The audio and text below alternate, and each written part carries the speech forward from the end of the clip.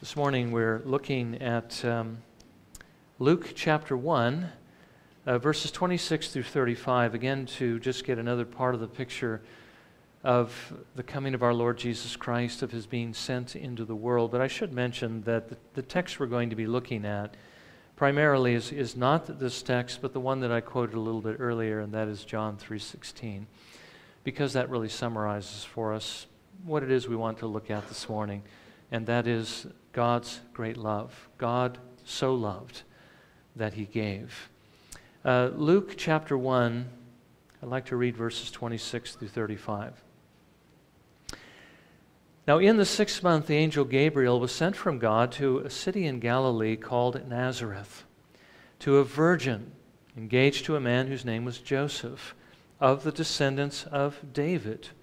And the virgin's name was Mary. And coming in, he said to her, Greetings, favored one, the Lord is with you. But she was very perplexed at the statement and kept pondering what kind of salutation this was. The angel said to her, Do not be afraid, Mary, for you have found favor with God. And behold, you will conceive in your womb and bear a son, and you shall name him Jesus. He will be great and will be called the Son of the Most High. And the Lord God will give him the throne of his father David, and he will reign over the house of Jacob forever, and his kingdom will have no end. Mary said to the angel, How can this be, since I am a virgin? The angel answered and said to her, The Holy Spirit will come upon you, and the power of the Most High will overshadow you. And for that reason, the Holy Child shall be called the Son of God.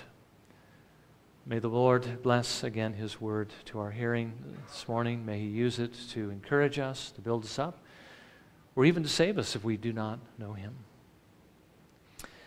Now, um, as we've already noted this morning, is uh, this is um, traditionally Christmas Day. I think we all understand that, and I think we also understand that we like Christmas. I think we can agree with most of the people out there that it is uh, the most wonderful time of the year, and I think it is. It is a very uh, uh, good season because of the things that happen. I mean, what are the things that make Christmas special? Well, for one thing, we get to spend time with family and friends, and I think that that's probably the most important thing. Uh, we get to share in some good food. There's always a lot of good food around, especially a lot of sweets. We've got to watch out how much we eat, especially if we happen to be watching our weight. But we also get to give gifts to the people that we love. And I think we understand what uh, the Lord Jesus said to the Apostle Paul on one occasion it is more blessed to give than to receive. It is a blessing to give. As children, we love to receive things. We liked it when, you know, there were a lot of gifts for us under the tree.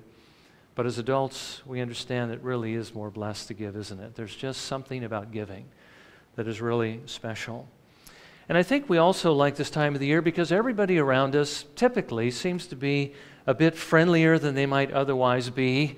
At least they are, unless you happen to be fighting, you know, with them for a parking spot at the mall, or maybe you're, you're uh, also struggling over the uh, particular item you want to buy, the last of its kind.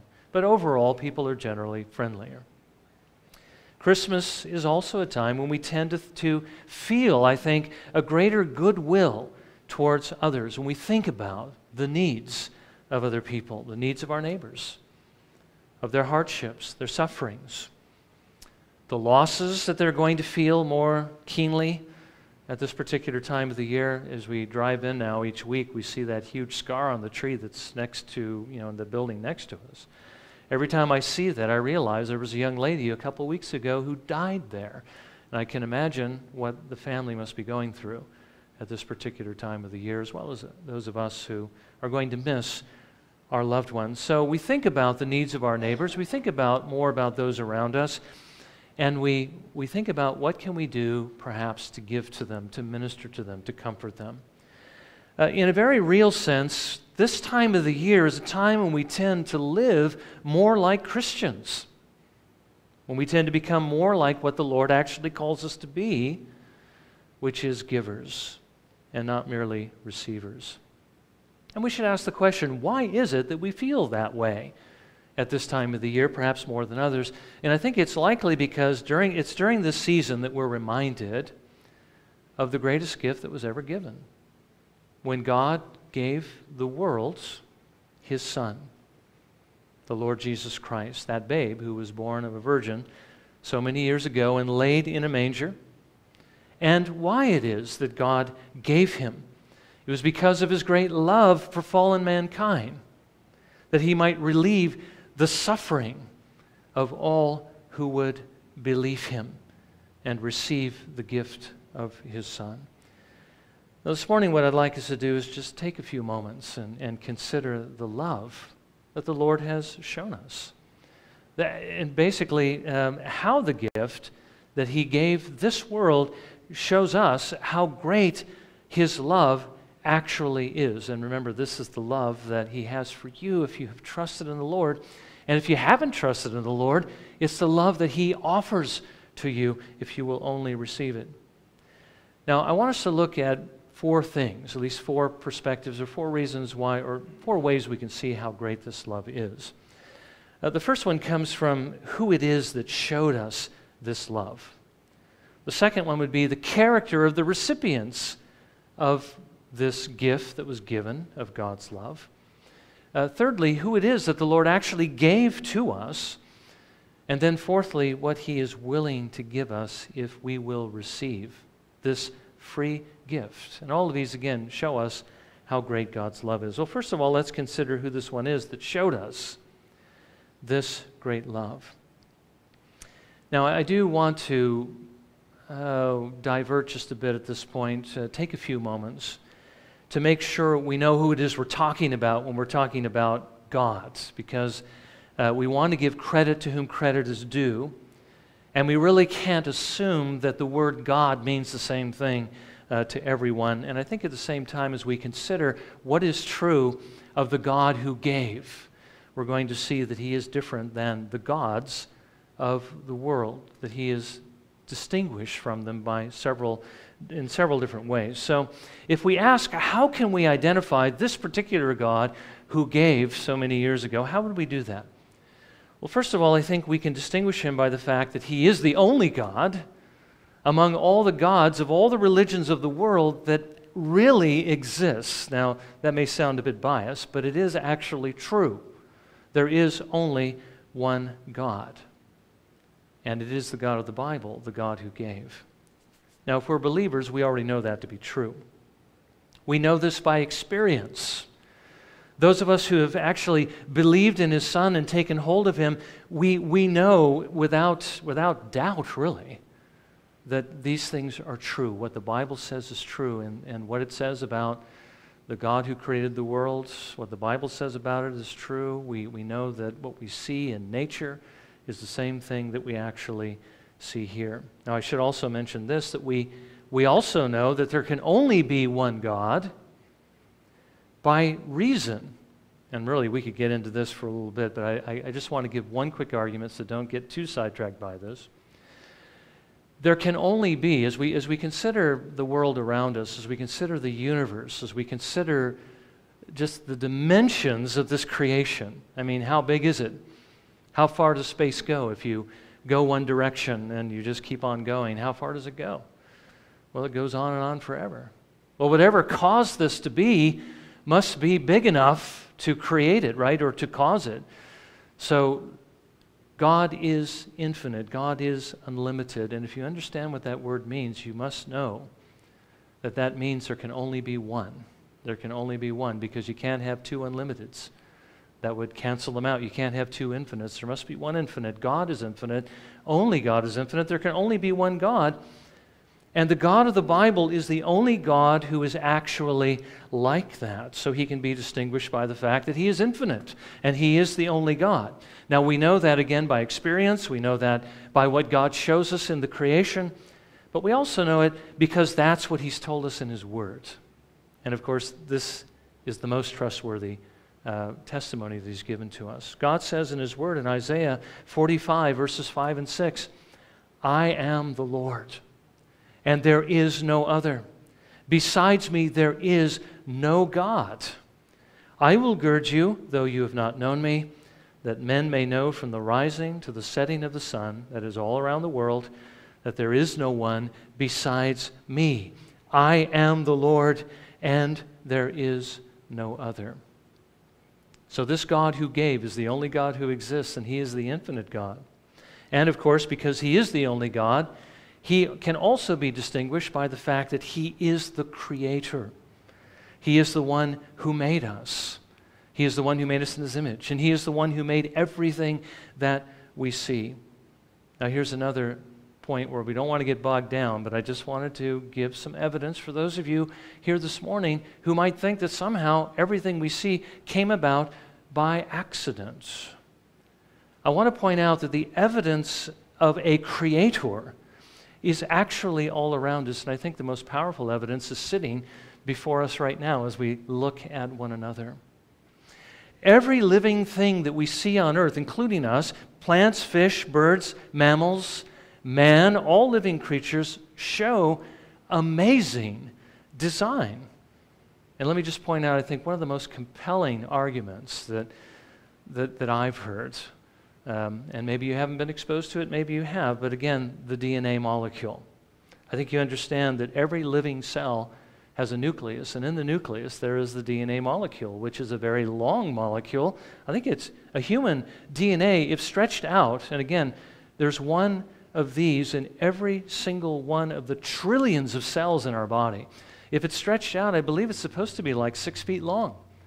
And encoded on this molecule is, is a vast amount of information, as I understand, enough to fill uh, a thousand volumes, 500 pages each, of complex chemical reactions, a blueprint to build the living being of which that cell is a part of.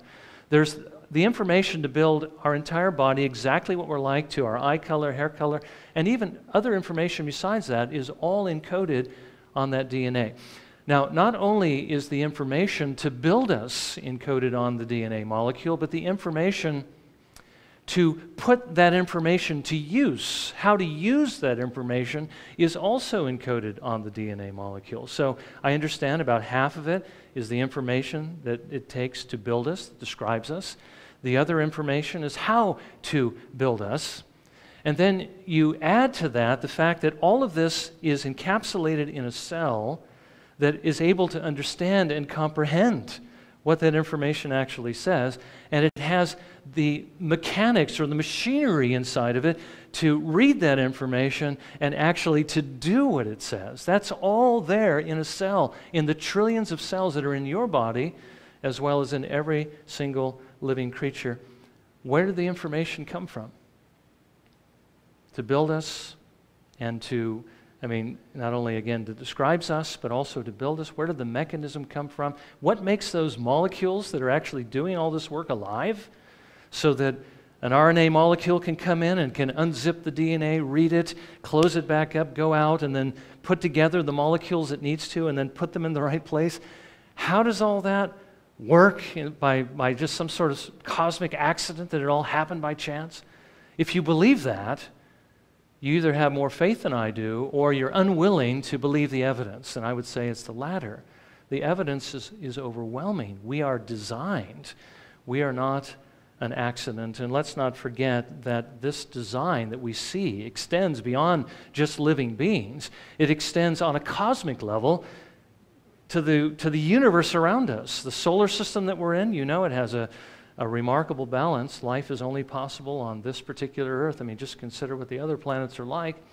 And then the universe itself, with all these galaxies, the more it's studied, the more it's seen that even it shows the evidences of design. Now, again, I would submit to you, these things did not happen by accident, but they were made by an infinite being Again, there can only be one infinite. That one is God, the one we're talking about who gave. God is the one who made them. The Bible tells us in Genesis 1, verse 1 In the beginning, God created the heavens and the earth. And then John writes, referring to our Lord Jesus Christ, who is the one God gave, who is the eternal Son of God, in John 1, verse 3, all things came into being through him, and apart from him, nothing came into being that has come into being. So, what distinguishes the God that we're talking about who gave? Well, He's the only one who exists. He is infinite, and He is the cause of every one and everything that we see. Now, thirdly, He can be distinguished by the fact that He is triune. He is one God, one spiritual being that is infinite, but He is three persons Father, Son, and Holy Spirit. And then, lastly, He can be distinguished by the fact that whatever uh, qualities he possesses, that he has in an unlimited amount.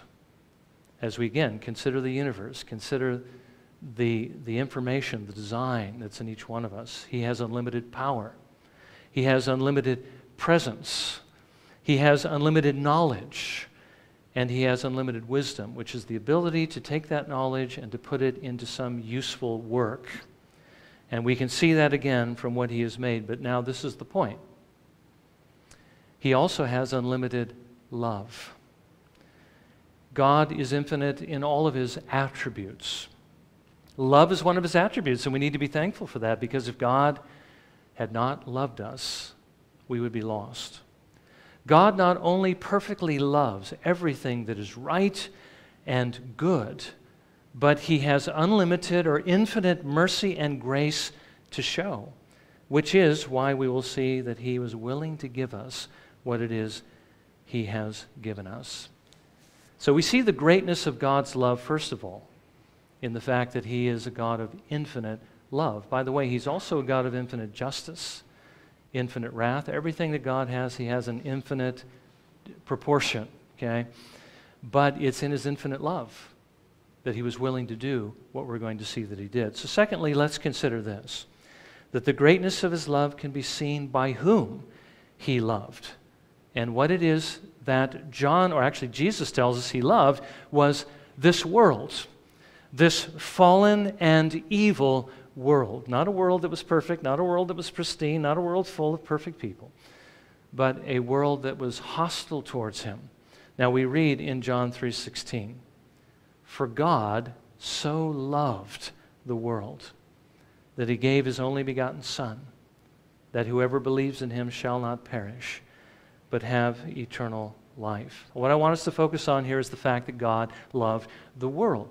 What does Jesus mean when he's referring here to worlds?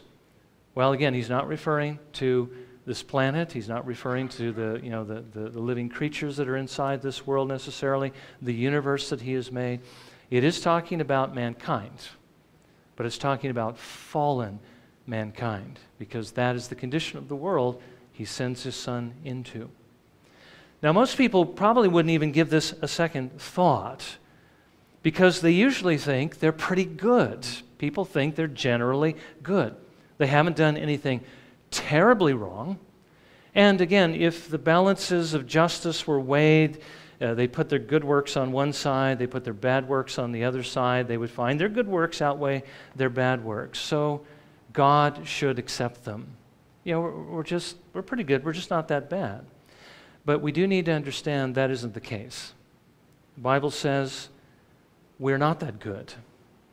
Now, God originally did make us good. That's the way that, that He made the first man and the first woman. Uh, we were perfect at the very beginning we had perfect bodies that would never get sick, never grow old, would never die. We had perfect hearts, just like God's heart in the sense that we loved what was good. We were like Him in this way. We loved our neighbor. Uh, we never wanted anything, you know, any harm towards them. We would, we would keep God's commandments because those are the loving and right thing to do. That's what our heart was like at the very beginning. But the problem is, we rebelled against him and became bad. We became very bad. We became his enemies. And I'll just, to demonstrate this, I'll just point you to the history of the world.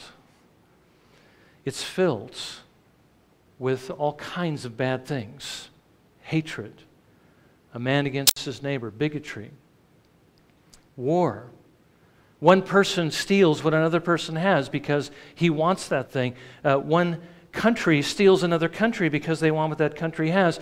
One person takes the life of another because maybe he doesn't like that person or that person did something bad to them. We are, we are the kind of people who profit from the suffering of others. You know, Karl Marx wrote a book, Communist Manifesto, and he talked about how the world would just be a wonderful place if everybody just shared and shared alike, if everybody shared the tools and the profits from all the work that was going on and so forth. And he said, in order to bring this about, we got to get rid of the government. And so they got rid of the government through revolution. And then they had to set up a temporary government to distribute all these, these goods. But then they found out this temporary government didn't want to give up its temporary power, and they began to oppress the people. And again, it just shows us the nature of mankind. That man really doesn't care about how their neighbor is doing as long as they have everything that they want. Man is evil. Now, apart from God's grace and his mercy, that's the way all of us are, you see. We were, apart from Jesus, as the Apostle Paul describes mankind in Romans chapter 3, verses 10 through 12. He says, There is none righteous, not even one. There is none who understands. There is none who seeks for God. All have turned aside. Together they have become useless. There is none who does good there is not even one. So if we were to put out the scales of justice and let everybody weigh their good works versus their bad, which side is going to be heavier? And does it matter whether one side is heavier than not? If, if they're bad works, how are they going to deal with those? We're going to see in a moment that our sins against God are so great that even one bad work would be enough to trump any supposed good works we did. But Paul says here that there is none who does good we don't do anything good. When the Apostle Paul was saved, and he was saved from a life of, of religiosity, he was a Pharisee of the Pharisees. He says, all my, all my righteousness, all this that I was putting my trust in, is like a, a, a mound of manure in the sight of God. It's dung. It's, it's worse than worthless. It's a stench in God's nostrils. He hates the smell of it. All our righteousness is as filthy rags before the Lord. We have no good. Well, that is the character of the world. This is the world God is said to have loved. A world that was alienated from him, a world that was hostile towards him, a world that deserved his judgment, not mercy, not grace. There was nothing in this world that could have possibly drawn God's love out toward us, only his contempt which is why John uses, I should say Jesus uses the word that he does in John 3:16 for love. It is the highest form of love. It is superlative love. It is sacrificial love. It is a love that is under no obligation to show mercy to anyone, but one that describes purely the desire of the one who is loving. God so loved the world what Jesus is telling us is that God chose to do, to show us love in spite of our evil condition, not because we were good. So here's the second way we see the greatness of God's love. First of all, we see that God is an infinite being who has infinite love, and that shows us how great it is. But He had to have that kind of love to be able to love a world like this, which is so evil in His sight a world that deserves only his judgment, God determined to show love. Now, third, we see how great his love is in what his love moved him to give, and that is his only son.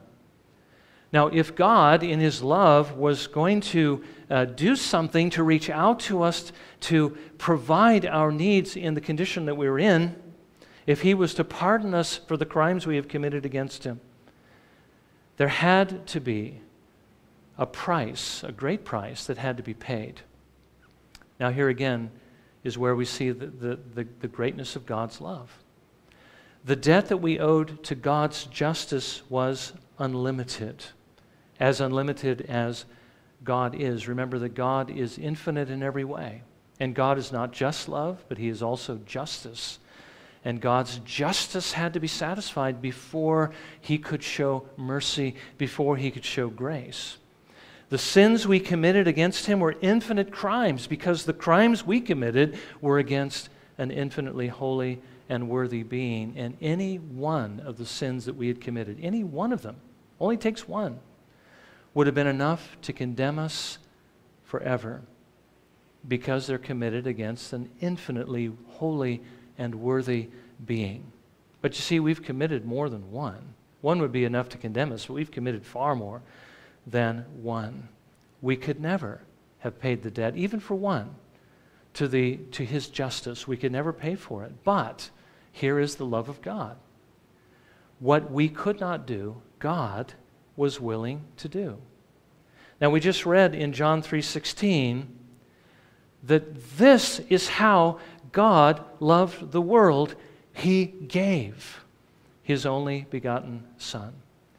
He gave one who at the same time was the one who was most precious to him. Remember when Jesus was baptized, the Father speaks out of heaven, This is my beloved Son, in whom I am well pleased. He gave that one that was most precious to him, but he also gave the only one who could have paid our debt, because the one he gave is God himself the eternal Son of God. Remember what we read earlier. The angel said, well, basically, when the angel told Mary that she was going to have a son, the Holy Spirit was going to come upon her, you shall call his name Jesus. This came about to fulfill what the prophet said You shall call his name, or a virgin shall be with child, and shall bear a son, and his name shall be called Emmanuel, which means God with us. That's who this one was. And his name is Jesus. Jehovah is salvation. The Lord will save his people. This one who came into the world is the Lord. And if he is the Lord, then he is infinitely worthy, infinitely precious, which means he can pay this debt. God sent his Son into the world to become part of the creation. The Creator becomes one of his creatures. He became one with us to obey for us, to die for us so that we might live. And again, this is the only way he could have done it by giving the one he loved the most, which is his eternal Son, the one in his image, to become one with us, to suffer and die in our place. Now, the fact that God sent his Son to, to go through this suffering on the cross proves that this is the only way that God could have saved us. Because if there was another way, He never would have put His Son through this agony. Remember, Jesus Himself prayed in the garden Father, if it's possible, let this cup pass. Nevertheless, not my will, but your will be done. This was the only way our debt could be paid. One who had enough personal value to suffer in the place of a multitude which no one can number for everyone who would trust in him. It was the only way, but you see, God was willing to do this. He was willing to give his son. He was willing to do the only thing that could be done in order to save us because of his love toward us. He gave what was most precious to him so that we might be saved. And again, he gave while we were still his enemies. Christ died for us, is what the Bible says. So God shows his great love by giving what is most precious to those who hate him. That is the depth of his love towards this fallen world. Now, finally, we see how great his love is and what he is willing to give to us if we will only receive him. And what he gives to us is everything that Jesus actually earned through the work that he did and it can all be summarized by these two words eternal life. If we receive what God freely offers to us, what He freely gave while we were His enemies, if we will receive His Son, He will forgive us not just of one of our crimes, but He will take away all of them. He will wash us and cleanse us from all of them, blot them out of His record book so there will not be one thing left against us. If we receive his Son, he will also give to us his Son's perfect righteousness. That is his record of obedience, so that we will have what we need to be acceptable to God. You know, the Bible says that God is so pure, so holy, that he cannot look upon sin with favor. He cannot have sinners in his presence. If we had any sin We would never be able to stand in his presence. We'd never be able to go to heaven. Jesus took care of all of that on the cross. Not only all the past sins, but the present sins and the future sins. If we only trust in him, he will blot them all out. But there's one other thing we need to stand in the presence of God. We actually have to be righteous. Righteousness is not the absence of sin, righteousness includes that, but it also includes perfect obedience. We have to be those who love Him with all of our heart and mind and soul and strength and do all that is pleasing to Him. Because if we don't, any area we fall short is sin, and God cannot have sin in His presence. So we need to have no sin, and we need to be perfectly righteous.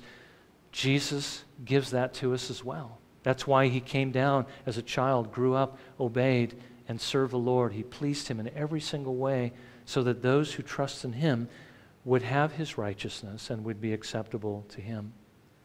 If we receive the Lord Jesus Christ as free gift that is given to us, God will adopt us as His own children. He will care for us. He will hear our prayers. he will protect us through this life, and He will bring us to heaven where He will love us and care for us for the rest of time. If we receive the Lord Jesus, He will give to us everything His Son earns. You know, Jesus is the one who, whose work makes it possible for there to be a new heavens and a new earth where there's no sin, where there's no death, there's no sickness, there's no crying, there's no sorrow, only perfect joy and perfect blessedness. If we receive Jesus, He will give that to us as well, and we will live in that world of perfect love, joy, and peace for the rest of time. So, in summary, God's love is so great that instead of giving us the hell we deserve, He's willing to give us the heaven we don't deserve at the cost of that which is most precious to Him while we were still His enemies. This is the magnitude of God's love, and I hope we understand. I hope we see that, and I hope we're reminded of that uh, this morning, because that is what, again, Christmas reminds us of as, as believers, the birth of the Lord Jesus Christ, the gift that God gave to us. We see its magnitude and we understand our situation, we understand God, we understand who Jesus is, and what He is offering, what He has done, and what He offers to those who deserve quite the opposite. Now, again, this is the gift that he offers, but if it's going to do us any good, we do have to receive it. It's not automatic automatically applied to everybody in the world. It isn't. We have to receive Him. Now, to do that, we have to believe everything we've just seen is true. We have to believe that. We have to believe God exists. We have to believe that He is loving. We have to believe He is just. We have to believe that we've committed these crimes against Him. We need to be, of course, grieved that we've done that. We need to know we're helpless to save ourselves. We need to believe that He sent His Son into the world to become one with us, to obey and to die for us, to be buried and raised again to life for us, and to ascend into heaven, and that He offers Himself to us as a Savior. We need to believe that. And believing these things, we also need to trust Jesus to save us. Now, this distinguishes, I think, the faith of those who are believed, saving faith, from those who are uh, believers, true believers, from those who just simply believe. There's the facts. There's, there's a lot of churches that are filled with people who believe the facts, but haven't actually trusted Jesus. And what that means is they believe all these things are true, but they have never actually relied on Jesus, looked to Jesus, are trusting Him to get them into heaven and living every single day in reliance upon Him as their only hope of heaven. You see, it's only once we actually rest in the Lord Jesus Christ and His work alone to save us that we're actually saved and that we're actually safe. But let me just take this one step further. Because sometimes we can believe that we actually have trusted in Jesus and we actually are safe when we aren't really safe. So, how can we know that we really have trusted Him? And that we've gone beyond just simply believing the facts about him? Well, we can only know by the changes that He makes in our lives. The Bible says that if we trust in the Lord Jesus Christ, certain things will be true of us. We will stop doing the things that we were doing before that dishonor Him. We call that sin. Those are the crimes we've committed against Him. That's our rebellion against Him.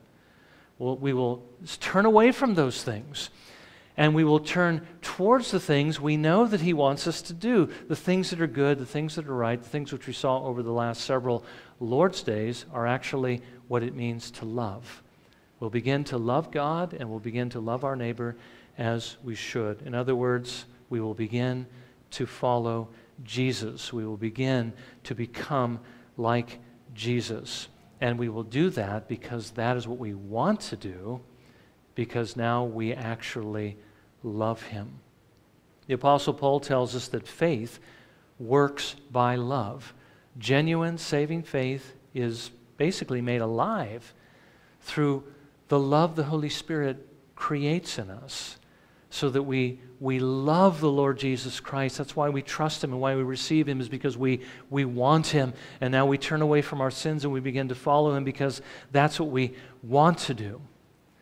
Jesus says in John 14, verse 15, If you love me, you will keep my commandments. So if we have a saving faith that works by love, and we love the Lord Jesus, we will obey his commandments. And the reason why we'll do that is because his commandments actually tell us what love is, it tells us how to love. If you've really trusted the Lord Jesus Christ, that's what you will do. You will turn away from the things you know God hates. You will begin to follow Jesus. You will do that not just on Sundays, but you will do that at all times and not just in certain areas of your life and still clinging on to those things that you don't want to give up in other areas of your life. You will do that in every area of your life. Now, you won't be perfect. None of us will be perfect. We're still going to fail in many, many ways on a daily basis in our thoughts, our desires, and our words and our actions. We will fail. But when we fail, we'll repent. We'll, we'll get up We'll keep moving forward because the Lord Jesus will make sure that we do. God's love is so great that he was willing to give his son so that if you believe in him, if you trust in him, you will not perish in his judgment with the condemnation that you justly deserve but he will forgive your sins. He will give you the righteousness of, your son, of his Son. He will give you eternal life. Now, again, let me just close in reminding you that what God has done, okay, He's only done once, and He's only done in one way. There are not many gods, there's only one. There are not many ways of salvation, there's only one. Jesus is the only way. Jesus says in John 14, verse 6, I am the way and the truth and the life. No one comes to the Father but through me. So let me ask you this morning have you received this gift that Jesus is, that the Father gave so many years ago? Have you trusted Jesus, not just believe the facts? Have you trusted in Him? Is the evidence that you have trusted in Him there? Are you turning from your your sins, from your crimes, from the things that are dishonoring to the Lord, and turning into the path that He tells you is the right path that is good and loving. If that's true of you, then you are safe because of the grace and mercy of God. But if you haven't, you're not safe. And so then I would encourage you, trust Him this morning. Receive the gift. It's a free gift. You don't have to earn it. You don't have to pay for it. It's something He paid at the price of His own precious Son, that which was most valuable to Him. He paid for it all. Jesus did it all. You just simply need to receive Him, to trust Him, to turn from your sins and believe on Him. Receive what the Lord offers to you because it is a sincere offer, and He will certainly give you what He has promised if you will simply look to His Son and trust in Him. Well, may the Lord grant His mercy and His grace to each one of us. And for those of us who have received Him, may He also help us again to see how great His love for us actually is.